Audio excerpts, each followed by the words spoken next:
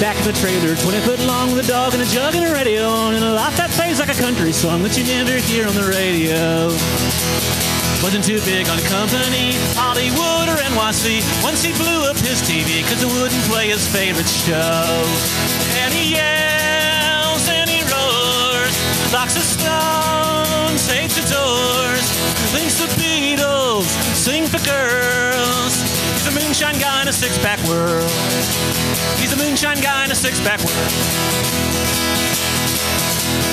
Never put a man that he couldn't put down. He's a three-legged mule in a one-horse town. No man's fool, no lady's clown. He's a rusted piece of history. Opinionated night and day. Says what he likes and he likes what he says. He don't care much anyway for your mytho mystery.